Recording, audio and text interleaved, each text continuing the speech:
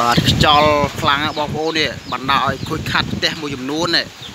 នៅភូមិព្រះ7ឃុំកោះតូចខេត្តកំពតក្រុងបូកគូបាទព្រឹកថ្ងៃទី18បាទខ្យល់បក់បោកយ៉ាងខ្លាំងមែនទែនណាបងប្អូន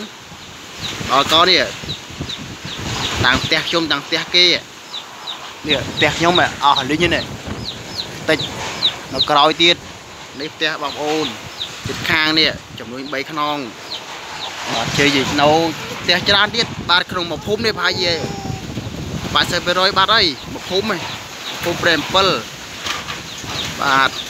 ខ្លាំងមែនតែនខ្យល់បក់បកយប់មិញ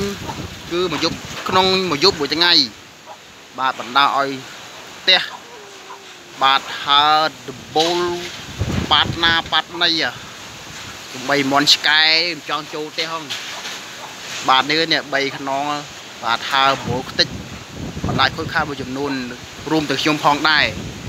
បាទនេះផ្ទះខ្ញុំនេះឃើញទេផ្ទះខ្ញុំមកខ្លាំងមែនតើអស់បូលមកភ្លុះភ្លាយហើយនៅក្រោយទៀតត្រង់មន់ត្រង់ទាអីអស់លីងហើយចក្រានហើអស់លីងហើយបូលផ្ទះហ្នឹងហ្នឹងហើយបានទស្សនាយំសឿទៀតតតតរងប្រការបាទសំប្រុសបាទបើសិនអាចជំនួយឥឡូវនេះគួយខាត់ច្រើនណាបងប្អូនហើយហើយបាទស្ថិតនៅភូមិព្រះ7ខុងកោះតូចខេត្តកំពតក្រុងបូកូណាបងប្អូនទាំងអស់គ្នាដែលបានចូលទស្សនាបាទការ live ផ្ទាល់នេះបាទពិតពិតស្ដាយស្ដាយមកបាទខ្យល់បោកបោកយ៉ាងខ្លាំង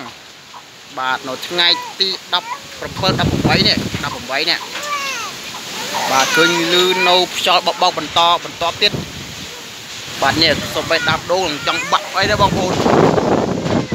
នេះឃើញផ្ទះត្រូវបាត់ខូចខាតមួយចំនួន